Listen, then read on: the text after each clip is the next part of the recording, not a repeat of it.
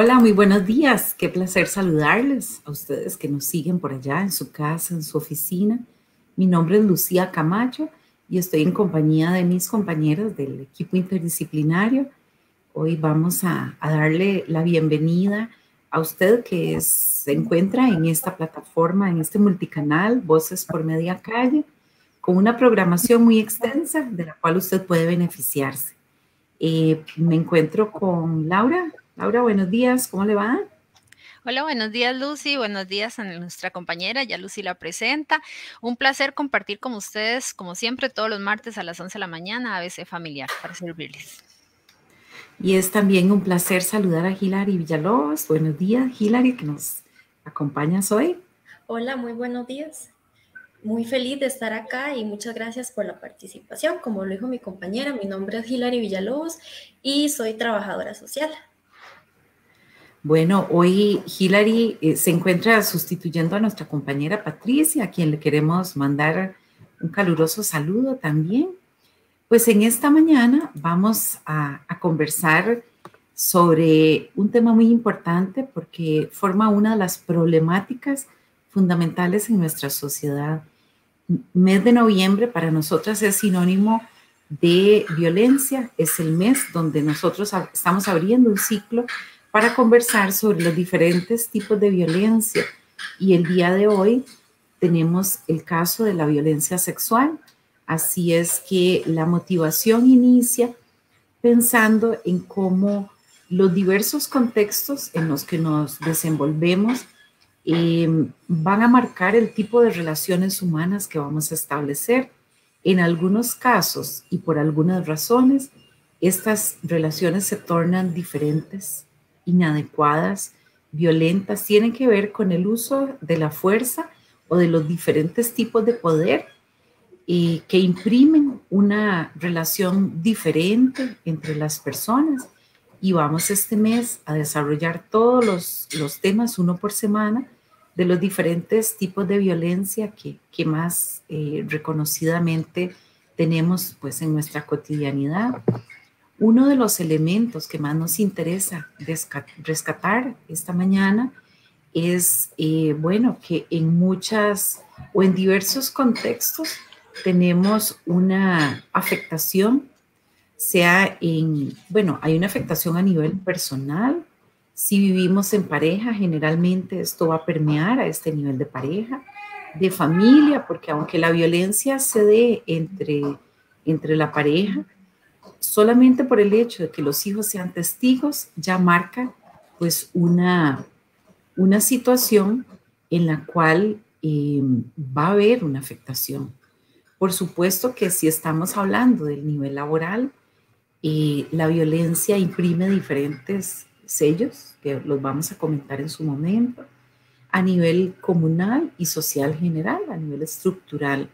Es decir, la violencia nos, nos atraviesa, nos acompaña de un modo eh, bastante significativo y esto hace que cuando se da esta situación, pues esto va a reflejar diferentes indicadores en las personas que están viviendo. Particularmente el día de hoy vamos a hablar de violencia sexual, que es aquella que se refleja más directamente con nuestro cuerpo la violencia sexual tiene que ver con aquellos actos que em, van desde expresiones o propiamente acoso sexual a través de palabras hasta una penetración forzada, pasando por una variedad de condiciones o de tipos de coacción, intimidación o incluso uso de la fuerza física para poder hacer, digamos, este o manifestarse este tipo de violencia. Así es que con este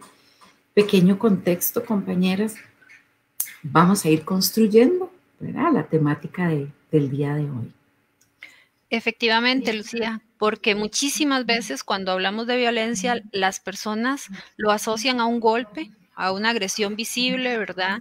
A un elemento que puedan eh, estar viendo eh, de la víctima y de ninguna forma lo asocian a algo emocional que en su momento vamos a hablarlo, pero sobre todo en la sexualidad, todo lo que tenga que ver con sexualidad. E inclusive si hablamos de violencia en el tema de sexualidad, muchas veces lo asocian a un, a un agresor y una víctima hasta desconocidos entre sí. Y eh, es importante anotar que los ciclos de violencia en este caso la violencia sexual se dan en las parejas, en los noviazgos, en los matrimonios, ¿verdad? Y no está exento a solamente una clase social o a un vínculo establecido o a un género o a una condición.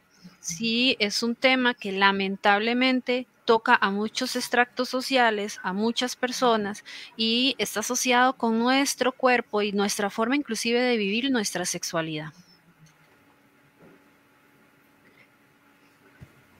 Yo quería agregar algo que es muy importante. Existen muchas formas de violencia sexual, pero a veces no podemos identificarlas porque parecen socialmente aceptadas o normales, ¿verdad? En nuestra sociedad. Muchas personas las observan, las miran eh, mediante en el núcleo familiar, en la escuela, en los colegios, en los, eh, en los vecindarios, pero mantenemos silencio, ¿verdad? Entonces, es importante como tener conciencia de esta, de esta situación, ¿verdad? Que, que enfrentan muchas familias o, parejas. Sí, creo que es algo muy importante, Hilary, porque como que este tipo de complicidad que vemos en lo cotidiano marca, eh, digamos, una manera de, de, sobrellevar o de comprender algo como un ruidillo ahí. Esperemos que no les esté distorsionando a ustedes que escuchan. Em, digamos, cómo hacer para interpretar si yo estoy siendo violentada, si estoy en medio de una situación de violencia, cuando como vos señalás, pareciera que de que esto es, lo asumimos muy naturalmente.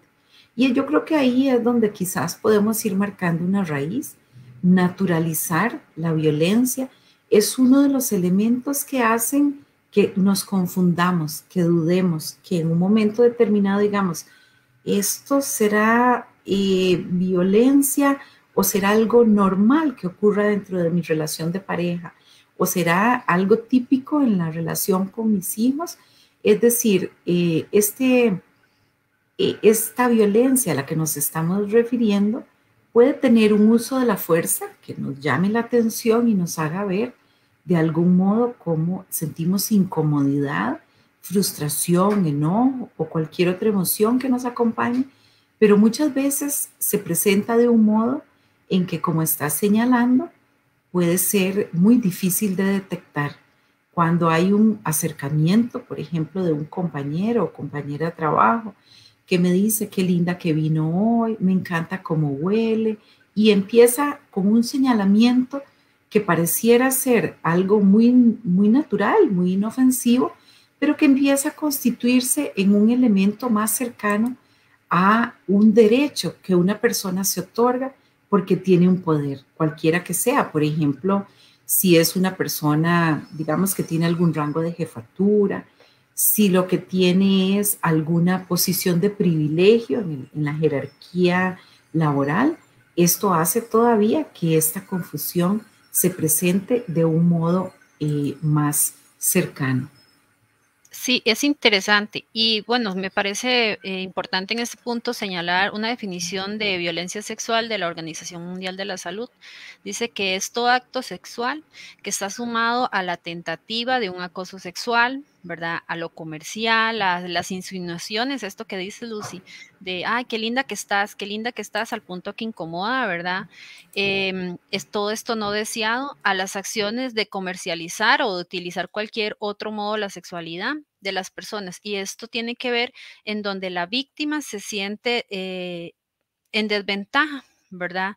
Se siente, tiene la inhabilidad por las circunstancias que sea de defenderse, de hacer un alto, porque bueno, hay un inclusive un ciclo de violencia que viene a afectar porque una persona no puede salir de estas situaciones o se ve eh, metida en, esta, en este laberinto. Eh, puede ser inclusive porque es, como decías, una jefatura, una persona de rango que tiene a amenazar, a utilizar, ¿verdad?, su rango de poder para discriminar o para hacer sentir a la víctima mal, las culpas, el manejo de la culpa, cómo el victimario hacia la víctima llega a utilizarlas y una serie de situaciones que vamos a ir analizando en el transcurso de este programa, pero que son importantes ir como poniéndoles puntitos en la I. Tome. Em, se me quedó Laura, se nos quedó en el camino, ¿verdad, Hilary? A ver. Sí. Te perdimos por un momentito, Laura. Laura, ¿nos escuchas? Bueno, vamos a, darle continuidad. Sí, sí la escucho, es que tengo como ah, problemas de red. Está bien. Ya, tengo como problemas de red. Voy a, colocar cable y ya me conecto. Sí, creo que, que estás aludiendo a algo que también necesitamos prestar atención, es el tipo de interacción que se da y cómo es un acto efectivo porque tiene una intencionalidad termina siendo eh, o causando un perjuicio o un daño a una persona porque aun cuando sea a través de la fuerza o a través de la intimidación, la coacción y, u otros mecanismos, ¿verdad? Que decíamos que suelen ser más difíciles de detectar o, más difíciles de, de, introducir, ¿verdad? Generalmente lo que tienen a la base es eh, conseguir un fin, un fin que está relacionado con la dominación, con la imposición y que por ello lo que tiene o deja como resultado es pues una relación muy difícil, ¿verdad? Cuando nosotros estamos expuestas a, o expuestos a una relación de este tipo, este, ocurre una dificultad no solamente porque nos sentimos inseguras, porque sentimos que estará ocurriendo, sino porque, como se mencionaba, hay una serie de mensajes alrededor que tienden a minimizar el efecto, ¿verdad? Entonces también preguntarle a nuestros burnautas cómo se sienten con este tema, qué les está ocurriendo. Eh, ¿Se habrá visto usted expuesto o expuesta alguna vez a una situación como esta?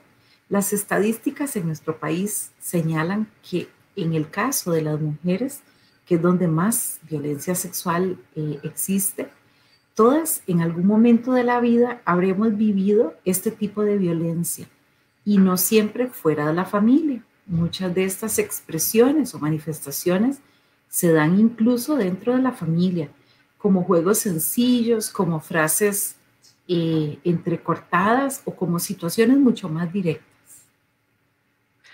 Es que igual, alrededor, Lucy, eh, de esto creemos que se va hasta el punto de una violación o un abuso cuando hablamos de violencia sexual. Y no precisamente tiene que ser así. Algunas veces puede ser ese acoso, ¿verdad? O esas insinuaciones o ese toqueteo que nos hace sentir mal en ese punto, ¿verdad? Nosotros tenemos que ser conscientes que somos eh, dueños de nuestro cuerpo y reconocer qué nos gusta, qué no nos gusta. Y esto tiene que ver inclusive con un vínculo, ¿verdad? Ya afectivo. Podemos hablar de un noviazgo, de una pareja, de eh, una compañía que tengamos, independientemente del género o la condición o la elección que tengamos, si a mí me hace sentir mal, si está eh, causando cohesión. Laura, te perdimos otra vez. Hilary, no sé si quieres participar ahorita. Sí, eh, concuerdo mucho con lo que ustedes dicen. Mm, la violencia sexual no solo lo hablamos, ¿verdad? Con lo del coito, sino es eh, la constante acoso. actualmente lo observamos mucho, ¿verdad? En lo que son las redes sociales. Em, acosan constantemente, llaman, eh, hola, ¿cómo estás? Si no le responden, se enojan o hasta el momento, ¿verdad? Que uno llega a bloquearlo y se crean otro perfil. Entonces, eh, sí es muy cierto lo, lo, que ustedes comentan, ¿verdad? Sobre las constantes eh, agresiones, ¿verdad? Que también son tecnológicas. Así es, Hilary, que estamos hablando de todo contacto de tipo sexual, no necesariamente penetración, como acabas de mencionar, pero que la calificación que le damos es que es no deseado o puede ser sin consentimiento. Y este apellido, pues es lo que, eh, digamos, le da esta naturaleza de incidir sobre este mundo privado, este mundo mío que es íntimo, que es propio y que muchas veces pensamos que eh, desde afuera, desde la persona que está cometiendo el acto, que tiene derecho, que es un ejercicio que puede realizar eh, sin considerar el deseo o, incluso podríamos estar hablando de una persona desconocida cuando esto ocurre en la calle, em, trascendiendo, ¿verdad? Este, esta situación en la cual mi incomodidad va a crecer muchísimo más. Me da miedo hablar y que se me vaya la señal. No, ya, ya aquí está tenemos. Es que está haciendo mucho viento aquí en San Rafael de Heredia. Posiblemente esto eso está afectando. Bueno, efectivamente, asociándolo a todo, no es solamente eh, la intrusión en nuestro cuerpo, sino a nuestra condición de persona, ¿verdad? Porque puede darse hacia ambos lados, hacia mujeres u hombres u otra situación, pero siempre que está afectando mi sexualidad, mi estabilidad, ¿verdad? Eh, esto de la coerción, de la manipulación, de porque te quiero, no quiero que te vistas así, por ejemplo, tiene que ver con este tipo de violencia. Em, yo te quiero y te amo y no quiero que seas amigo de estos y estos, ¿verdad? Porque usted es mía, porque tu cuerpo me pertenece, porque usted es mi mujer, ¿verdad? Ese tipo de, situaciones está enmarcado también en un ciclo de violencia sexual, en donde la intimidad de la pareja eh, se ve se ve socavada por esa manipulación y ese acto intencional de ejercer violencia y de de menoscabar la autoestima de la persona, ¿verdad? Que ha sido en este caso víctima. Y en muchos casos hablamos, son las mujeres, no lo inventamos, son las estadísticas en donde muchísimas mujeres son víctimas de violencia sexual y desde su pareja, desde un desconocido en la calle, desde un familiar, ¿verdad? Y este familiar puede ser sus hermanos, sus tíos, sus abuelos. Lastimosamente las estadísticas dicen que muchos altos índices de violencia y abuso sexual se dan en la propia familia.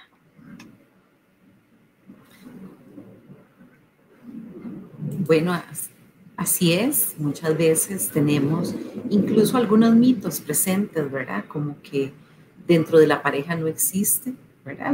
La, intimidación o el acoso, la violentación, ¿verdad? Que se, que se haga a una persona, como también un mito alrededor del tipo de agresor de la persona, ¿verdad? Que, que se habla de un perfil, cuando en realidad una persona, digamos, que decide cometer este tipo de violencia es cualquier persona, puede estar la persona dentro de la pareja.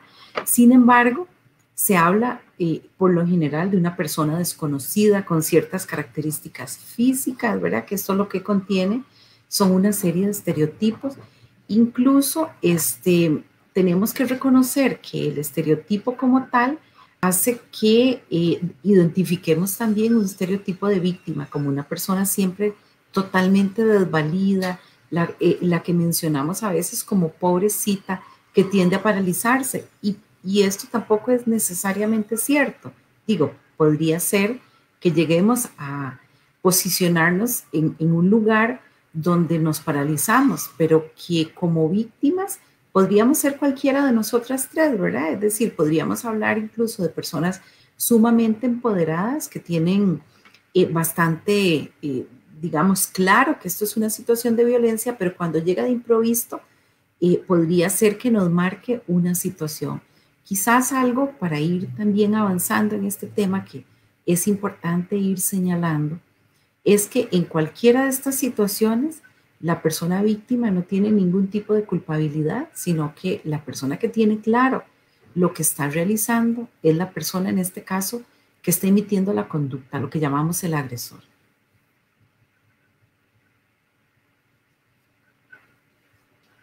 Bueno, no escucho a nadie. Chicas, tienen el turno es, algunas veces creemos o, se escucha mucho en el diálogo social de que es culpa de ella, vea cómo andaba vestida, vea cómo lo provocaba, es que siempre ha sido, ¿verdad? Y hace una serie de comentarios en este ambiente, ¿verdad? Que eh, refuerza una conducta muy machista, en donde la víctima además sigue siendo más víctima de la sociedad, el agresor el abusador la hirió, le hizo daño, ¿verdad? La lastimó y además la sociedad tiende a juzgar. Entonces, eh, lo que yo sea como mujer o como hombre no me determina para que otra persona haga uso del poder contra mí y me haga sentir mal. Y muchísimo menos por la vestimenta o por su ignorancia tal vez en algunos temas puede suceder, ¿verdad? Que se está no una hay montones de personas que creen que por ejemplo la violencia sexual no pasa en el matrimonio y es un hombre o una pareja agresora, ¿verdad? Que le obliga a tener relaciones íntimas sexuales eh, con el uso del poder Muchísimas mujeres, por ejemplo, no entienden que es un derecho humano a la integridad física y mental el tema del género femenino, ¿verdad? Y que, por ejemplo, pueden elegir ser mamás o no ser mamás, tener cuánta cantidad de hijos o no tenerlos. Y algunas veces esto no es legitimado y se considera también violencia sexual cuando se obliga a una mujer, por ejemplo, al hecho de que tiene que ser mamá. Y porque usted es mi esposa, tiene que darme hijos. Eso es violencia. ¿Verdad? Ese tipo de situaciones en la sociedad se legitimiza y también es una forma colectiva de ejercer violencia. Exacto, como lo dice Lau, eh, actualmente con respecto a la vestimenta, observamos mucho, ¿verdad? Con noticias de femicidios, eh, la muchacha le pasó esto porque se vistió de tal manera, porque usaba en agua, porque usaba vestido, porque usaba una camisa muy corta la ropa eh, no tiene nada que ver, ¿verdad? Con, lo que es uno, la otra persona, el agresor no tiene derecho, ¿verdad? A hacernos sentir mal o abusar de nosotras mismas por la vestimenta. Sí, así es. Vamos llegando como algunos acuerdos también de lo que hemos ido abordando. Si nosotras eh, nos em, van denominando víctimas, en general, el caso de las mujeres, es porque independientemente de nuestras prácticas, de nuestras costumbres, hábitos, formas de trabajo, forma de hablar, etcétera, eh, eso no justifica de ningún modo este tipo de violencia. Y si hay algo claro es que se da por la necesidad de otra persona de establecer una relación de poder, hacer un uso de la fuerza, aun cuando la fuerza sea a través de la intimidación, la extorsión, eh, la insinuación incluso, es decir, que no siempre involucra fuerza física, pero que también podría ser. Y además, algo que es importante patentar es que se da contra la voluntad. Es decir, este acceder no necesariamente es lo que eh, va a marcar, sino todo lo contrario. Ahora bien, podría ser que yo acceda en una salida como, mujer, que yo acceda en una salida, que quiero, eh, digamos, tener una manifestación cariñosa con una persona, que podemos estarnos besando o acariciando, pero cuando yo digo intencionalmente quiero llegar hasta aquí, eso es algo que debe respetarse y sin embargo es uno de los preámbulos más riesgosos en los que una mujer puede encontrarse, porque pareciera que este eh, ambiente cariñoso, ¿verdad? Se confunde con usted quería, o es decir, yo no podría poner un límite eh, para detener una situación que podría perfectamente decir, bueno, yo no quiero ir más allá y sin embargo la interpretación es, entonces usted preparó el terreno para que así fuera y se termina eh, pues concluyendo que eh, a la fuerza yo tengo derecho a esto, ¿verdad? Cuando en realidad eso lo plantearíamos como una situación más de poder. Sí, porque eh, se podría interpretar, usted me provocó, usted empieza, usted empieza, usted termine, ¿verdad? Entonces, más bien ahí podemos ver la inhabilidad de esa persona de controlar sus impulsos y de aceptar el no. Y, eh, pero se convierte en una dificultad y muchísimas veces eh, en un acto de violencia sexual agresivo, doloroso y que lleva, ¿verdad?, a la víctima a sentir culpa a sentir vergüenza. Muchísimas veces estos hechos se callan, ¿verdad? Y hay un mal chiste que dice lo que callamos los hombres por, el, por la, la, serie de lo que callamos las mujeres, pero muchísimas mujeres callan situaciones de violencia, ¿verdad? En la intimidad, por el hecho de vergüenza, por el hecho de que la sociedad creía que era un buen hombre, que era una buena persona, un buen partido, ¿verdad? Pero fue una persona que no pudo eh, tener la habilidad de entender que no es no, y siguió hasta el punto de ejercer la violencia sexual. Entonces, este tipo de cosas se callan, ¿verdad? No se dicen, pero es también asociado a una acumulación que tenemos en la sociedad de, no visualizarlo, igual lo decía Hilary al inicio, de no visualizar eh, la violencia sexual como un hecho que se da en la cotidianidad de muchas personas y el miedo a denunciar el miedo a sentirme expuesta también, a, hacer, eh, a que esa información salga de, de los cuatro paredes donde sucedió, de que otras personas tengan que saberlo. Mucho hay en el mal manejo de cómo se procede a hacer una denuncia, la desinformación, ¿verdad? Es uno de los temas que también afectan a las víctimas, de qué hacer, a quién acudir y cómo actuar. El temor también, Laura. Sí, yo creo que el miedo, ahora decías que ante una situación de violencia no estamos exentos nadie, de repente nos puede pasar a cualquiera, ¿verdad? Que venga alguien y nos asalten y usted sepa karate como le pasó a una conocida y donde la fueron a asaltar se quedó eh, tiesa, no pudo hacer nada, ¿verdad? El hecho de, de que yo hable de estos temas también me puede a mí eh, pasar que en algún momento tengo una situación de violencia, pero el poder está en saber actuar, en saber acudir a las fuentes de información, saber que es un ciclo de violencia, saber que hay momentos en donde un agresor va a estar tan dulce, ¿verdad? Como el azúcar y de repente empieza a hacer otra vez las mismas, ¿verdad? Entonces uno dice, pero es que ayer estaba tan bueno, tan lindo y hoy es así, mañana va a cambiar. ¿verdad? Pero no está visualizando el ciclo que está viviendo a través de su historia de violencia.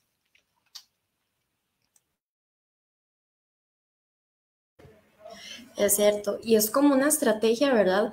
Donde las parejas, el hombre, eh, bueno, lo hablábamos en el ciclo, ¿verdad? De la luna de miel, que es cuando el hombre eh, empieza a dar regalos o empieza a actuar como el primer día que conoció, ¿verdad? A la mujer, eh, a prometer que va a cambiar, que la situación va a ser diferente. Entonces ahí es donde la mujer, ¿verdad? es una da como una persecución, de, ¿verdad? De que el peligro que está viviendo está disminuyendo. Pero el ciclo puede volver. Quizás esta imagen, compañera, nos puede favorecer en lo que estás mencionando y un poquito trayendo esta imagen, ¿verdad? acá encontramos un primer momento de un evento de tensión y esto aplica para todos los tipos de violencia. Ahora hoy estamos hablando de violencia sexual, pero en general nos marca lo que ustedes acaban de, señalar.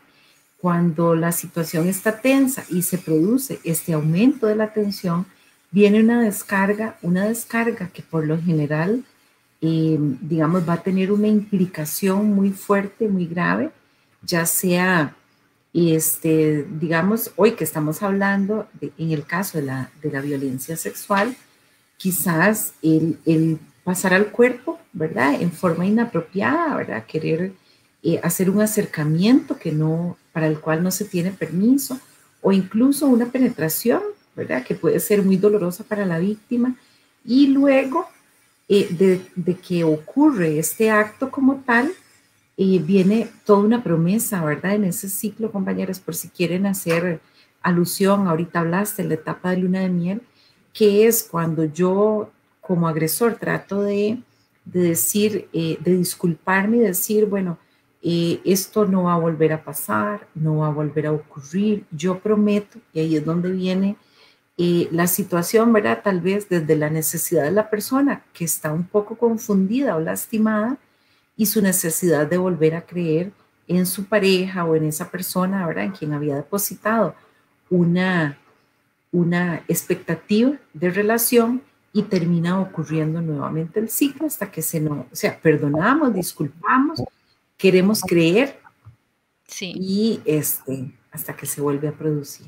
Eh, bueno, de hecho los estudios hablan que la etapa más difícil es entre la reconciliación y la aparente calma, ¿verdad? Porque se crea un espacio en donde la, inclusive la, la víctima se cree culpable por haberlo acusado de hechos violentos, que, ay, no, ya está cambiando y la reconciliación se vuelve en este em, estereotipo social que, que después de, un buen, de una pelea, una reconciliación sabe mejor, ¿verdad? Es muy utilizado coloquialmente, pues genera una calma, pero ese, este ciclo se repite continuamente y, no es No es ajeno a decir que todas las parejas pueden tener dificultades. Todas las parejas van a tener contradicciones, van a tener dificultades, nunca va a ser perfecto, pero en el momento en que existe todo un acto intencional de causar dolor, de causar violencia, de coaccionar la voluntad de la otra persona, en ese momento ya esto no es normal. En el momento que mi pareja, en este caso por ser el mes de la violencia contra la mujer, hablamos desde la mujer, ¿verdad? Pero puede dar en cualquiera de todas las direcciones. En el momento que mi pareja me haga sentir mal, me haga hacer cosas que yo me siento avergonzada, humillada, eh, en desventaja, ya eso tengo que revisarlo. No está bien. ¿Por qué? Porque esto es una forma de ir parando el ciclo. Lamentablemente son ciclos que generan cadenas. Y muchísimas veces nosotros en nuestras oficinas vemos ciclos de violencia en una pareja, pero si revisamos le pasó a la mamá, le pasó a la abuela, le pasó a la bisabuela. Y algunas veces sus hijas están replicándolo en sus vínculos, inclusive con sus compañeros, el manejo del poder, la, la victimización que se le da un montón de situaciones. Entonces, si usted que está escuchando este programa puede identificar algunos de estos factores, es muy importante analizarlos para adentro, para revisar qué cambios podemos generar. Un saludo a Mónica que dice full sintonía desde la escuela Miguel Aguilar Bonilla. Saludos allá. Saludos. Eh, sí, yo, yo creo que esto es tan interesante, ¿verdad? Porque en, la vida cotidiana, eh, cuando esto ocurre, y podemos tener muchas preguntas, ¿verdad? ¿Qué fue lo que verdaderamente sucedió?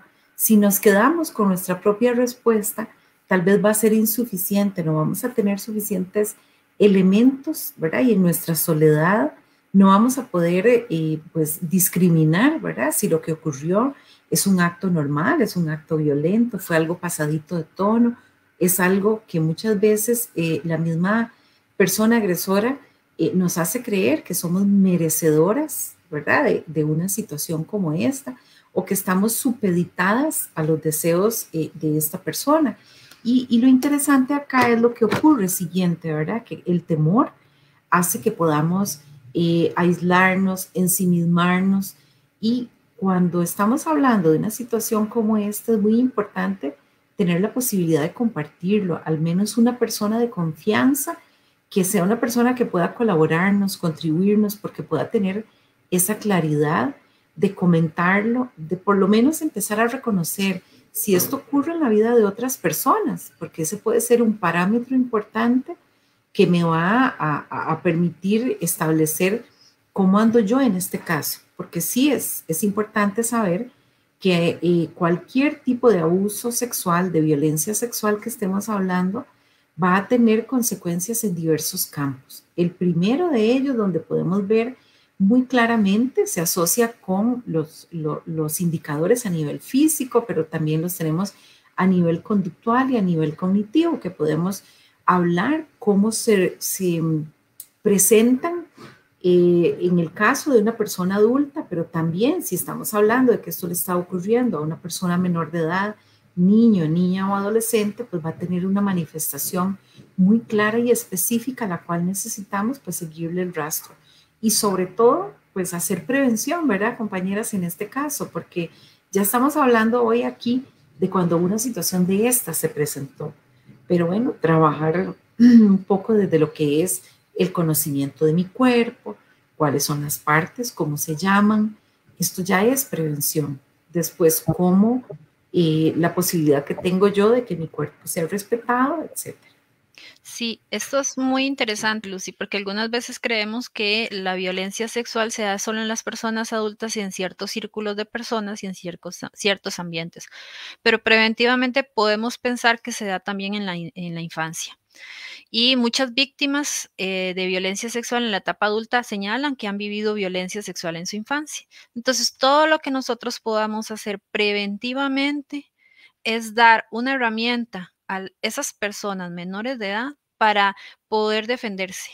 Y esto tiene que ver hasta con la música que escuchan, ¿verdad? Lo analizábamos antes, el contenido de la música que llega a los oídos de los niños eh, buscando información, encontré una canción que no voy a decir el nombre, pero decía solo tres frases o tres palabras casi, y tres minutos escuchando lo mismo con un movimiento sumamente obsceno, ¿verdad? Sumamente ofensivo para lo que significa un vínculo de respeto entre parejas. Entonces, ¿cómo nosotros hemos permeado la violencia de muchas formas en la cotidianidad y es trasladado a la infancia a través de la música, a través de videos, a través de, no sé, programas y, eh, damos una imagen errónea o equivocada de qué significa un vínculo de pareja, de respeto, de unión, de solidaridad. Ahora compartíamos un video muy lindo que eso de masculinidades y hablaba de la unión de pareja como una sociedad ¿verdad? Y es que en una sociedad todos queremos ganar, estar bien, tener un equilibrio, la empresa tiene que funcionar, algo así es una relación de pareja independientemente del estatus civil que quieran otorgarle. Y esto permite que las personas vean la relación con muchísimo respeto, como nosotros eh, preventivamente estamos trasladando esa información a los niños, a las niñas, en donde una mujer tiene que ser sometida, tiene que ser valorada por su cuerpo solo o por todo integralmente. Y eso trae, por ejemplo, la música, eh, los memes, que lo hemos hablado en repetidos programas, como eh, compartimos memes de un contenido fuertísimo y tal vez está el acceso de un niño o una niña, nuestro celular. ¿verdad? Porque ahora se tienen que conectar y ese celular tenía un estado que no era adecuado para que lo vieran mis hijos, no era, tenía un meme o un video que no era adecuado para el contenido de nuestros hijos.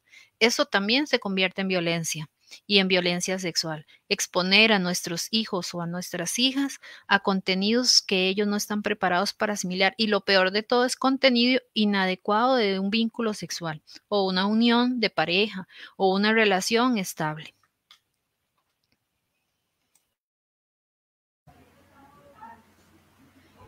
Actualmente eh, consumimos violencia sexual como si fuera entretenimiento, ¿verdad? Lo vemos en las plataformas como Netflix, Actualmente em, las series son de contexto sexual, de agresión, eh, ¿verdad? Y no nos acercamos con empatía, como hablaba Lau eh, con respecto a la música. Em, he visto situaciones como, por ejemplo, los baby shower que ponen reggaetón. Ok, vamos a analizar esto. El reggaetón es de, ok, su ritmo es muy movible y demás, pero si usted le quita el ritmo y ponen una hojita, ¿verdad? La letra sola, usted se queda asombrado. Tiene contenido, sí, no tiene contenido. Por ahí eh, uno de los cantautores que a mí me gusta decía música que nos haga pensar. Y esa música lo que a mí me da muchísimas veces es una sensación de vacío por parte de quien la canta, ¿verdad? Quien compone una letra eh, tan atroz contra una persona o con tan poco contenido. El otro día en un ambiente de amigos ahí hablábamos de cómo la música se ha ido perdiendo y que van a escuchar las nuevas generaciones.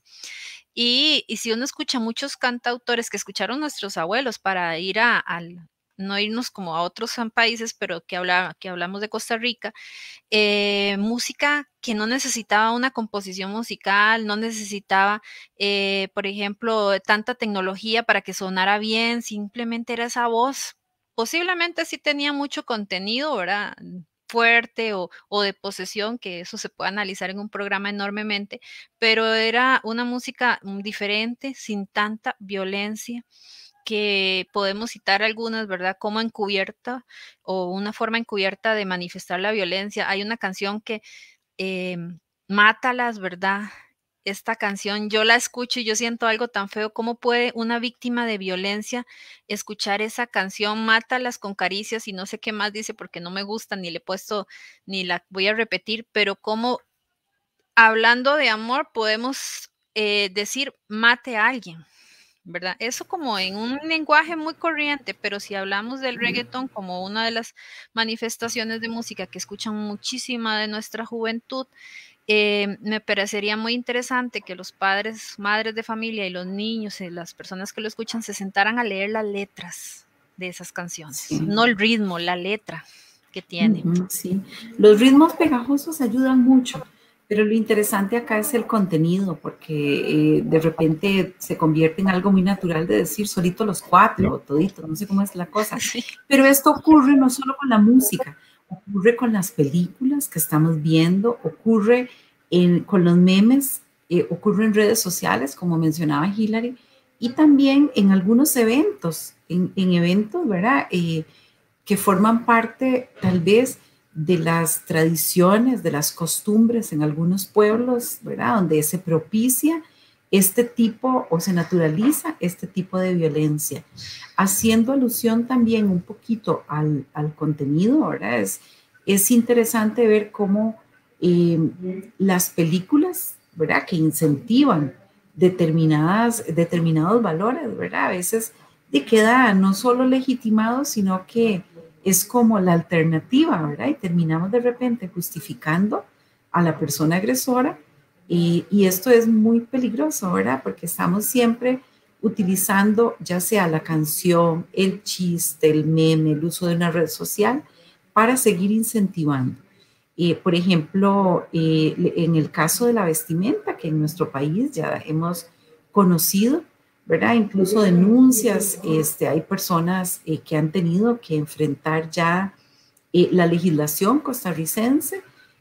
Bueno, muy interesante, ¿verdad? Si le preguntáramos por acá a la persona individual qué opina, habrá quienes incluso justifiquen cómo andaba vestida ella o el tipo de actividad que estaba realizando lo cual es nuevamente muy peligroso porque eh, dentro del ciclo pareciera que hay algunas actitudes sociales que favorecen la aparición de estas situaciones. Sí, y es lo mismo, vamos como al mismo tema. Es que nos regimos como con una serie de patrones de conductas que se repiten. ¿verdad? Que afecta a todos los ámbitos. Por ejemplo, bueno, ya hablábamos la música, la tele, el internet, las familias, eh, y eh, es tan aceptado socialmente, es tan validado que no visualizamos esos hechos de violencia. Hay un, me acuerdo que hay un chiste por ahí que decía, ay, es que mi autoestima hoy está tan bajo que pasé frente a una construcción y nada me dijeron nada, ¿verdad? ¿Cómo puede ser que eh, validen que me tengan que decir cosas o introperios para poder sentirme bien. Mi autoestima no tiene que ir alrededor de esto. Yo creo que es un gran logro social en Costa Rica, ¿verdad? Y político y jurídico inclusive, el hecho de la legislación del acoso callejero, ¿verdad? Yo no sé cuántas mujeres pueden aliarse conmigo en este comentario, nos hacen sentir mal, nos hacen sentir incómodas, ¿verdad? Inadecuadas, un montón de cosas solamente porque a alguien se le ocurrió decirnos introperios en la calle. Yo no sé cuántas de ustedes les ha pasado que se visten de alguna forma, salen bien y cogen esa ropa y no la vuelven a usar porque se sintieron tan incómoda porque le dijeron algo por una ropa que usted se sintió bien. Y no estoy hablando de ropa ni chingoleta ni escotada, estoy hablando de una vestimenta corriente.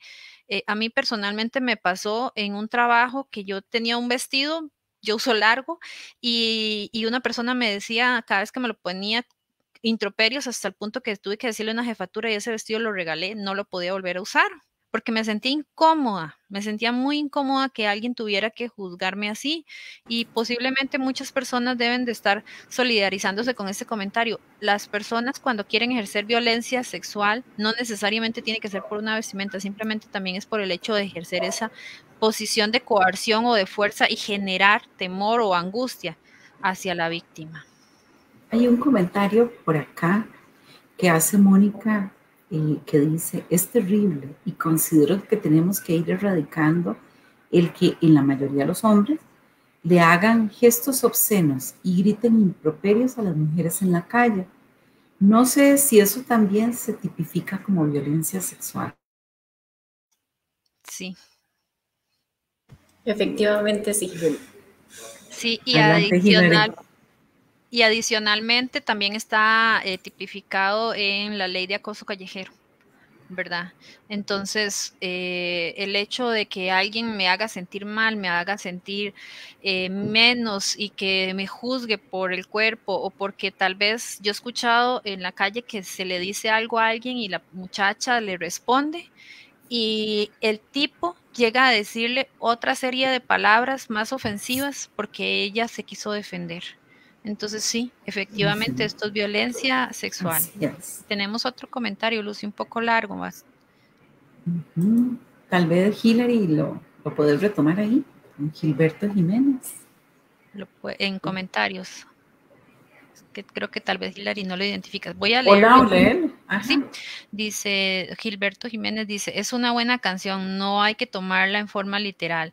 Mátalos con una sobredosis de ternura, asfixiala con besos y dulzura, contaglia con todas las locuras, mátala con flores, con canciones que no les falle, que no hay una mujer que en este mundo no se pueda resistir a los detalles dice, despiértalas con una serenata sin que un día especial lleve flores. No importa si es la peor de las ingratas y que tú eres un santo sin errores. Bueno, yo diserto un poco de, una canción eh, bonita. este, personalmente, si alguien me dedica a esa canción, me sentiría mal. Yo preferiría que escoja palabras que puedan hablar de amor o respeto, del vínculo que vamos formando, porque tenemos que usar palabras que están asociadas a la misma violencia, asfixiarlas, matarlas. Eh, qué lindo que lo despierten con una serenata, pero antes no tengo que hacerla sentir incómoda. Una víctima de violencia que ha sido trata, que ha vivido, o yo leí un comentario de una víctima que hizo alrededor de esta canción, que ella todos los días despertaba con un miedo de morir asfixiada, porque su esposo anteriormente le había cantado en una borrachera una canción como esta. Todos los días esa víctima vivía con mucho miedo de que hoy le trajera flores y en la noche la cuchillara. Entonces, es como nosotros legitimamos la violencia tal vez a don Gilberto agradecer el comentario que hace. Quizás nuestra preocupación básicamente radica en el hecho de por qué utilizar eh, una, em, a ver, un recurso tan poderoso como una canción para decir o hacer un reconocimiento de elementos hermosos a nuestra pareja con una nomenclatura o con el uso de un vocabulario que es más bien violento. Lo, que estamos cuestionando no es el sentido, digamos, del reconocimiento hacia la mujer, sino más bien, eh, a ver, mátala puede convertirse en, un llamamiento, en una exhortación, y no necesariamente va a ser de besos y dulzura, que sería lo idóneo dentro de la relación de pareja. Muchas veces esto lo que hace es eh, establecer un recurso, ¿verdad? Muy cotidiano, donde la palabra mátala puede ser eh, utilizada de otras maneras, como no, como, como no son las que se están comentando acá, sino que pueden tener eh, pues ese sentido. Y estamos hablando acá entre personas adultas, que ocurre en el caso de aquellas personas que no tienen un desarrollo cognitivo ni una capacidad para entender que esto puede ser una metáfora, ¿verdad? Digamos, sino más bien algo más eh, directo y coloquial. Y, yo creo que es un buen momento este comentario que nos hace don Gilberto también para hablar de cómo esto, porque ya ustedes lo mencionaron antes, compañeras, cómo esto eh, se convierte, el, el, abuso sexual o la violencia sexual se convierte en un factor de riesgo cada vez que lo pensamos desde el punto de vista de la reproducción en sí misma. Entonces es las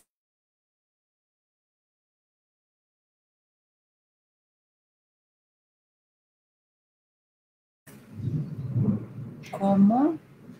¿Qué pasó por ahí? Se pegó, se pegó un poquito usted, Sí, un poco.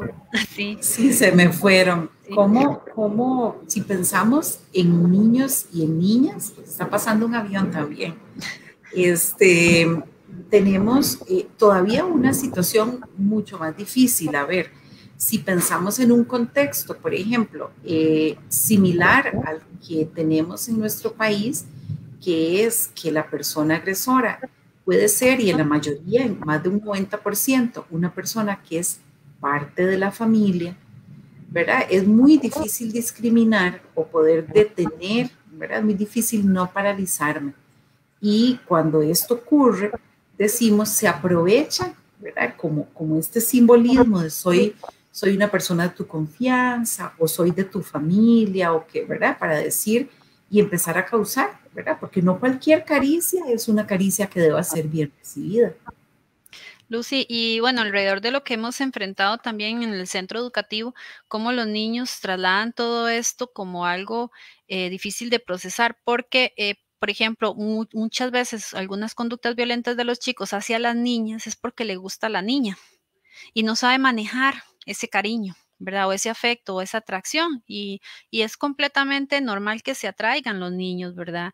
Pero eh, entonces, como me gusta esta chica, la empujo, la trato mal y cuando la chica se enoja, me le devuelvo y le digo un introperio.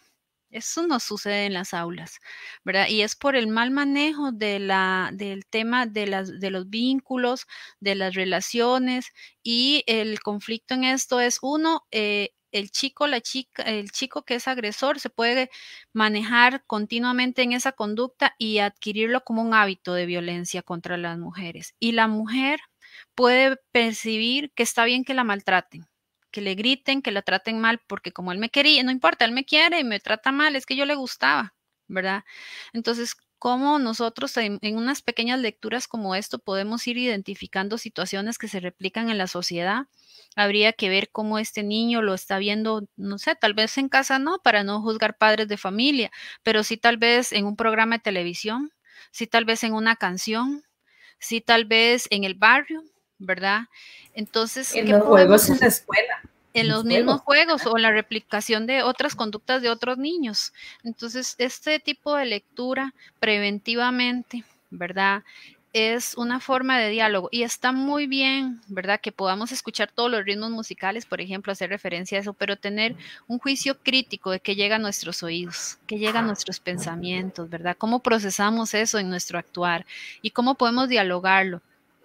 Muchos papás dicen, es que cuando hay un contenido muy fuerte, yo le apago la televisión. Bueno, ya está ahí. ¿Cómo podemos nosotros hablar esos temas de sexualidad con nuestros hijos? Vamos afrontando las etapas y con las preguntas. Hay un comentario, ¿verdad, Lucy? Si gusta, lo puedo leer. Claro, adelante. Lucía Boscolo, la pregunta que una mujer tiene que hacerse es, ¿para qué y qué es lo que me hace sentir así? Los conceptos son culturales, la educación tiene un rol fundamental. Totalmente cierto. Yo creo que no es justo, ¿verdad? Vivir con miedo, vivir con miedo este, de nuestras parejas, vivir con miedo de que si yo quiero hacer alguna actividad no la hago para no hacerlo enojar. Eh, la vestimenta, si yo quiero vestirme de tal forma no lo hago. O si yo quiero salir con mis amistades no lo hago. ¿Verdad? Creo que es muy... Así es. Así es, y, tremendo vivir con miedo y generalmente quienes vivimos con miedo somos las mujeres, no necesariamente los hombres, ¿verdad? Por este sistema patriarcal en el que nos ubicamos. Dice don Gilberto además que él es de México y que en muchas de las canciones mexicanas se utilizan muchas metáforas en cuanto a las letras de reggaetón. Estoy de acuerdo con ustedes, muy groseras. Saludos desde México, don Gilberto. Un saludo muy especial desde acá, Costa Rica, nosotras. Pero sí, es una preocupación y a doña Lucía, que también participaba, muchísimas gracias por escucharnos y por participar. Definitivamente necesitamos seguirnos educando en materia, en todas las materias, pero la educación sexual nos marca una necesidad imperante, hacer prevención. Eh, a ver, las metáforas están ahí, podemos utilizarlas de manera favorable o de, de manera grotesca. El que yo pueda decir, Em, incluso algo como una mujer no se debe tocar ni con el pétalo o golpear ni con el pétalo de una rosa, a veces nos dice eh, también encubre cierto, cierta condición patriarcal y contiene todo un contenido machista en, en, otro sentido, pero por eso es que las palabras y el uso de ellas, como ustedes mencionan, eh, va a ser fundamental. Patricia Bonilla, que también saludamos, dice uno de los temas muy importante. Sí, en efecto, hoy queremos rescatar y como ya vamos como hacia el final del programa, que no dejemos de decir algunas cositas, es importante identificar cómo, eh, al menos vamos a mencionar un poquito de la experiencia de Costa Rica, ¿verdad? El, el Ministerio de Educación Pública cuenta con determinados protocolos para que podamos identificar y actuar cuando estas situaciones de violencia sexual se están dando a nivel de aula. Si hay algún indicador a nivel de aula, es porque posiblemente hay una situación a intervenir a nivel familiar. Eh, va a ser fundamental que podamos eh, también eh, reconocer que en algunos momentos la situación es manejable, que en otras va a haber que hacer denuncia y es la instancia del Ministerio Público donde podemos acudir si hablamos de menores, el Patronato Nacional de la Infancia. Tenemos también a nivel de, de mujeres y personas adultas el recurso importantísimo que brinda el Instituto Nacional de las Mujeres, el INAM, eh, con, con, mucha atención, la misma Caja Costarricense del Seguro Social.